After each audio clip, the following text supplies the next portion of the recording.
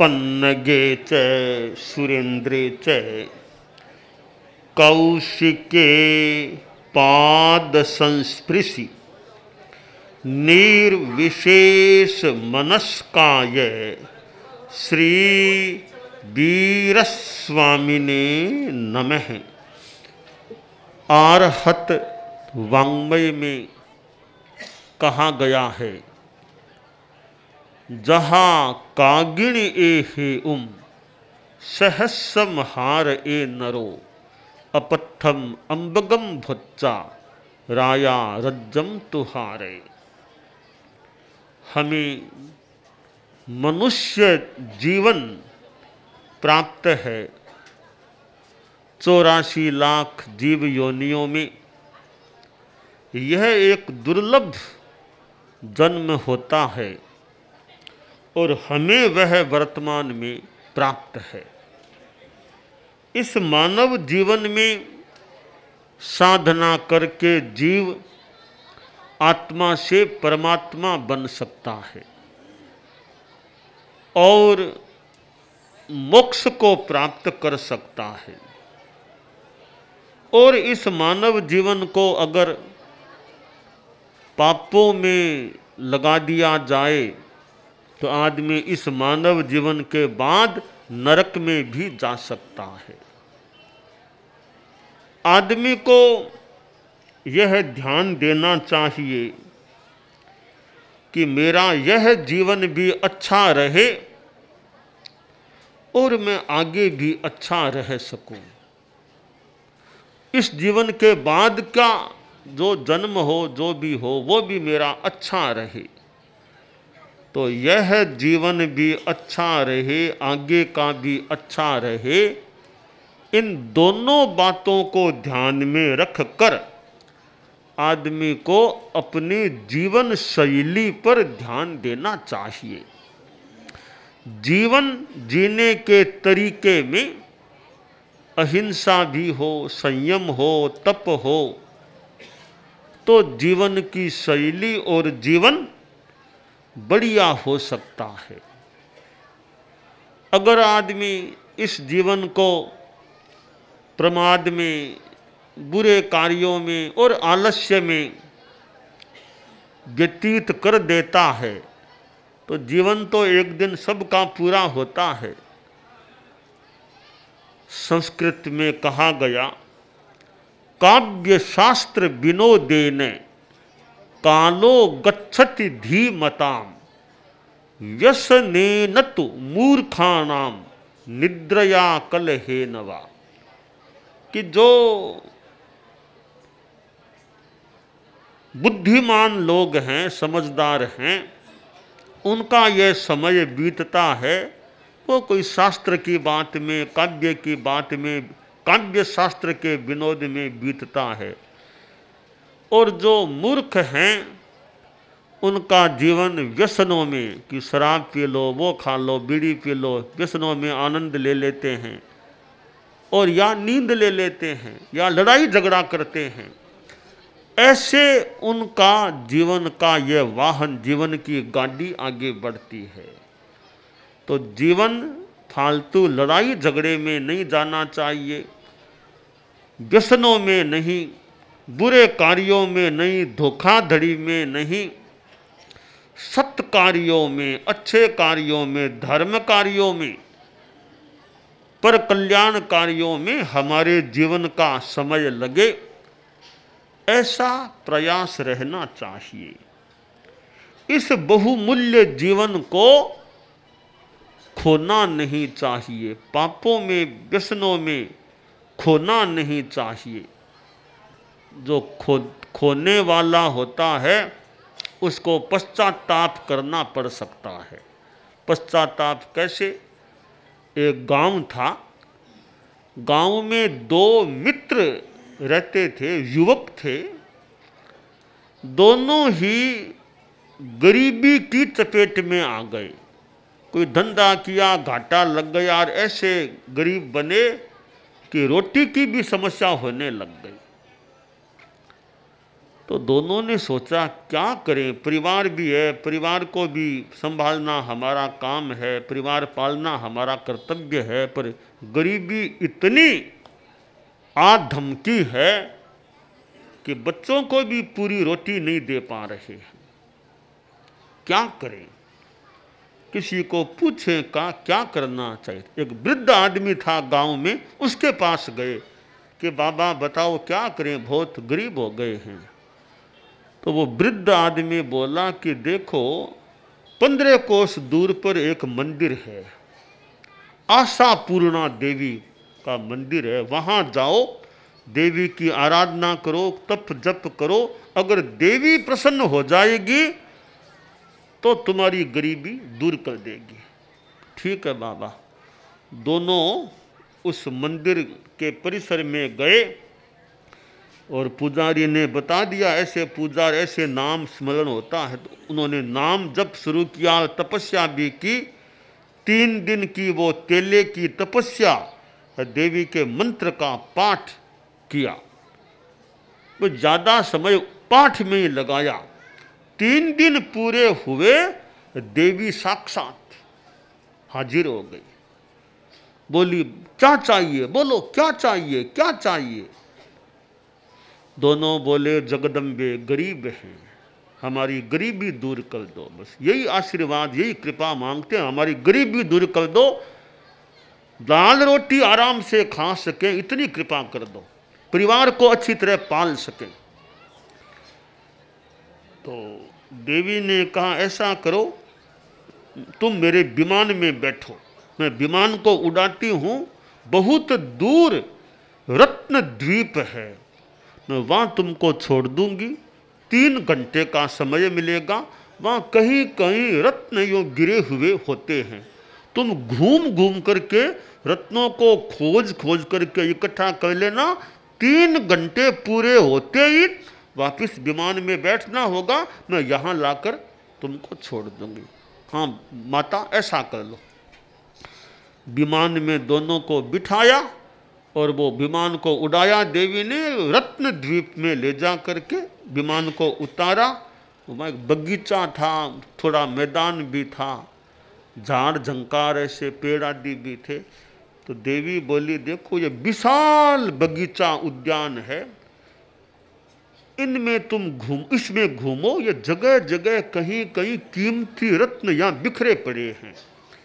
तुम्हें जो अच्छे लगे वो रत्न उठा लेना। तुम्हें पूरी छूट है, कोई रोक टोक नहीं। जितने रत्न उठा सको, उठा लो। दाल रोटी क्या तुम जो चाहोगे वे चीज़ें मिल जाएगी इतना। ये कीमती ये रत्न है।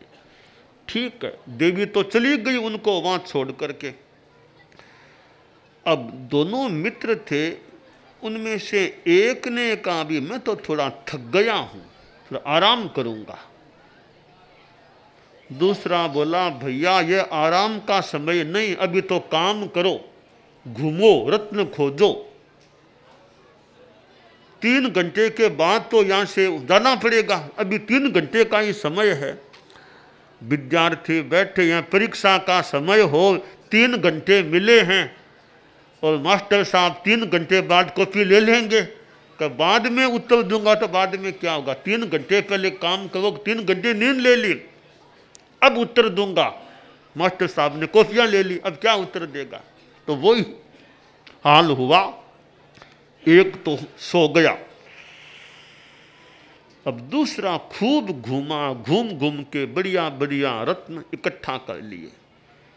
इकट्ठा करके वो गेट के पास आया तो वो तो सोया ही पड़ा था। दूसरा तो कहा भैया, उठो, इतने में देवी भी आ गई। देवी बोली, उठो उठो। वो दूसरा उठा, माता, मैं तो सो गया था। एक घंटा और दे दो, एक घंटा और दो।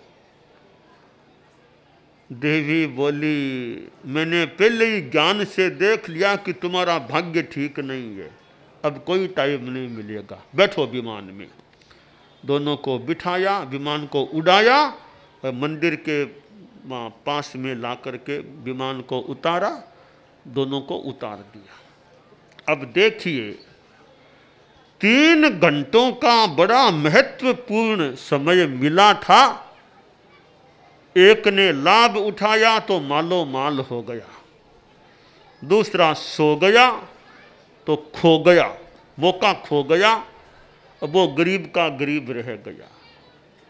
तो मौके का लाभ उठाना हमारा जीवन है उसको इस रूप में तीन घंटे क्या, तीन भाग मान लें, पूरा जीवन हो तो बचपन, जवानी, बुढ़ापा, तीन भाग हैं। इनको खो दिया तो फिर क्या मिलेगा? तो मानव जीवन है, इसमें हम बढ़िया काम करें। जीवन में अहिंसा, जीवन में संयम, तपस्या, यह शराब पीना, बीड़ी, सिगरेट, खैनी, गुटखा आदि नशीले पदार्थों से बच कर के रहना और नैतिकता धोखाधड़ी नहीं करना, किसी को धोखा नहीं देना। झूठ, चोरी, कपट, इनसे बच के रहना चाहिए।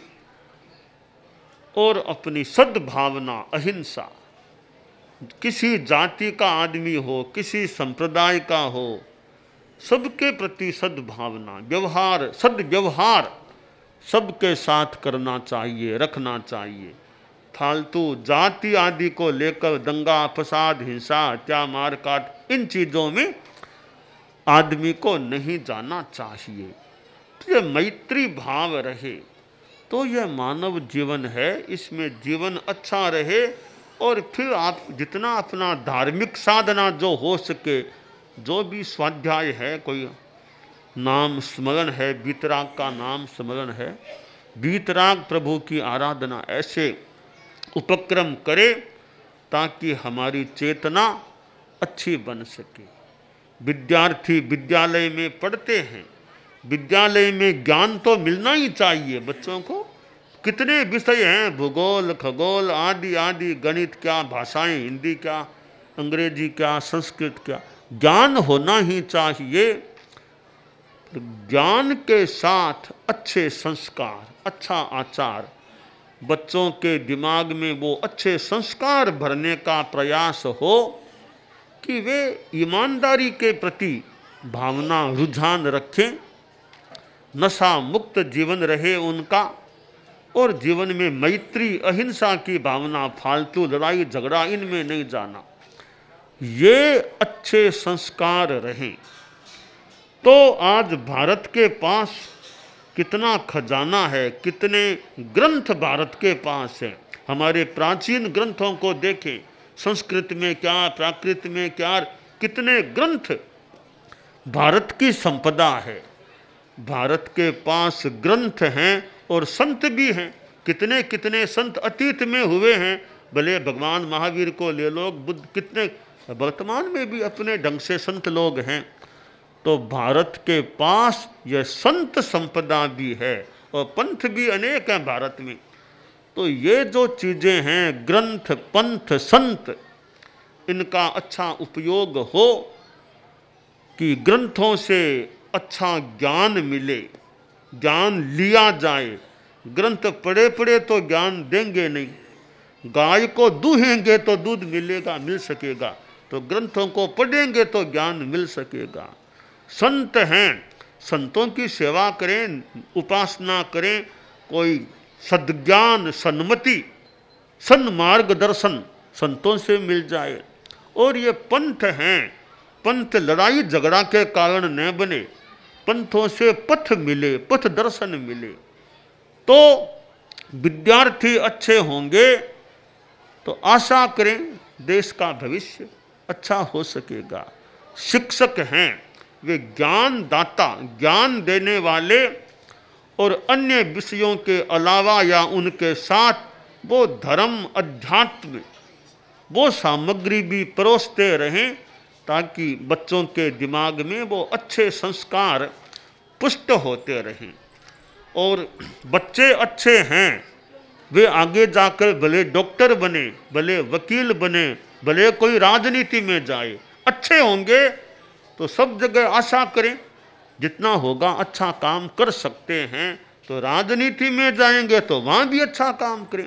राजनीति भी बहुत आवश्यक होती है देश के लिए, प्रांत आदि के लिए, क्योंकि राजनीति के बिना तो देश चलेगा भी कैसे? तो देश को चलाने के लिए राजनीति तो ज़रूरी है। राजनीति भी एक सेवा का माध्यम भी है बस राजनीति में रहने वाले लोग सिद्धांतवादी हों, नैतिकता मोरल वैल्यूज़ में निष्ठा रखने वाले हों और पवित्र सेवा, यानी कि देश का कुछ उत्थान हो सके, हमारे देश का आध्यात्मिक उत्थान, नैतिकता का उत्थान हो। और राजनीति में आ जाए, सेवा नहीं करे तो तो आना कोई मतलब नहीं राजनीति में तो आना सेवा का लिए, सेवा के लिए आना मूल चीज़ है। तो यह सेवा और राजनीति एक सेवा का माध्यम है और आम जनता भले गाँवों में रहे चाहे शहरों में रहे, जहाँ भी रहे, जीवन अच्छा रहे, गाँवों की जनता में बहुत धार्मिकता की रुचि, अपना भले खेती बाड़ी करें, कुछ भी करें, और गाँवों में तो कई बार free from pollution pollution free माहौल खेती बाड़ी खेत अपना आराम का मस्ती जीवन ठीक है श्रम तो आदमी को रोटी चाहिए तो श्रम भी करना हो सकता है और तनाव मुक्त जीवन हो शुद्ध माहौल हो फिर टाइम मिले उतना कोई ध्यान योग मेडिटेशन जैसा भी चलता रहे तो जो कहा गया कि भारत की आत्मा गाँवों में रहती है भारत की आत्मा गाँवों में। शहरों का अपना महत्व है, गाँवों का अपना महत्व हो सकता है तो गाँव हो या शहर मूल आदमी अच्छा होना चाहिए। आदमी अच्छा होगा तो शहर भी अच्छा हो जाएगा। एक कोई आदमी था, गाँव बाहर जाने लगा कि मैं तो गाँव के बाहर जाकर के रहूँगा। पूछा, भाई क्यों? कि गाँव में गंदगी है तो बाहर जाकर के रहूँगा। तो एक आदमी बोला, अरे, गाँव में तुम कहते हो गंदगी है, अब तुम लोग बाहर जाओगे तो बाहर को भी तुम गंदगी में बना दोगे। तो कम से कम बाहर को तो अच्छा रहने दो ना। गाँव के बाहर के एरिया को अच्छा रहने दो। तुम लोग बाहर जा कर के बस जाओगे, तुम जाओ, फिर और कोई लोग वहाँ आ जाएँगे। तो गाँव के बाहर का स्थान भी खराब हो जाएगा। कम से कम गाँव बाहर को तो शुद्ध रहने दो। तो मूल आदमी का मन शुद्ध रहे तो तन स्वस्थ रहे अगर आदमी का विचार अच्छे रहे। कि सादा जीवन, उच्च विचार, मानव जीवन का श्रृंगार। जीवन में सादगी हो, विचार ऊँचे हो, अब जीवन में दिखावा कोई बड़ी बात नहीं। कपड़े मैंने कितने बढ़िया पहन लिए, बहुत बड़ी बात नहीं है। गहने आपने कितने पहने, बहुत बड़ी बात नहीं है। बड़ी बात है, आदमी के विचार कितने ऊँचे हैं। बड़ी बात है, आदमी का आचार कितना ऊँचा है। बड़ी बात है, संस्कार आदमी के कैसे ऊँचे हैं। तो ये बाहर की चीज़ों का ज़्यादा महत्व नहीं कितने किसने कितने बढ़िया बढ़िया कपड़े पहने, किसने कितने बढ़िया गहने पहने, ये थोड़ी सी व्यवहार की चीज़ है तो ज़्यादा महत्व की चीज़ है कि ज्ञान कितना हमारे पास। शिक्षक हैं। अब ज्ञान कितना गहरा, वो महत्व की बात है। शिक्षक के पास ज्ञान अच्छा होगा तो विद्यार्थियों को अच्छी सामग्री परोसी दी परोसी जा सकेगी। तो ज्ञान हमारा अच्छा हो, आचार संस्कार अच्छे हो, यह जीवन की संपदा। फिर देखें तो स्वास्थ्य आदमी का अच्छा रहे, शरीर स्वस्थ रहे, मन प्रसन्न रहे यह जीवन की संपदा है। क्योंकि तो स्वास्थ्य भी बहुत ज़रूरी है। ज्ञान है तो शरीर अनुकूल नहीं तो कितना पढ़ाएगा और कैसे पढ़ाएगा तो शरीर स्वस्थ हो, मन स्वस्थ हो, बुद्धि अच्छी हो, विद्वत्ता अच्छी हो, संस्कार, आचार, व्यवहार सब अच्छे हों तो ये जीवन की संपदाएँ हैं। तो हमारे जीवन में ऐसी आध्यात्मिक संपदाएँ जिनसे आत्मा का कल्याण हो सके, वे हमारे जीवन में रहें। तो यह आज यहाँ आना हुआ है। तो गाँव में खूब अच्छी भावना, भक्ति जो देखने को मिल रही है, गाँवों के लोगों में खूब शांति रहे, चित्त समाधि रहे और आचार, संस्कार, व्यवहार सब अच्छे रहें। विद्यालय परिवार में भी खूब अच्छा ज्ञान और आचार का विकास होता रहे। मंगल का।